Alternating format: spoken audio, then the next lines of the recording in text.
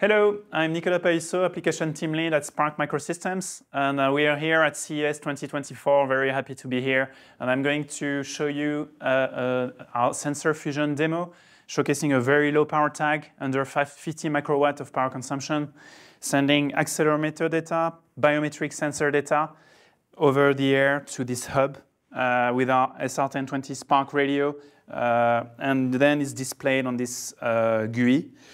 You can see here the accelerometer data when I move up and down uh, the tag. And you can also see my heart rate uh, at the top right of the screen that's sent over the air real time.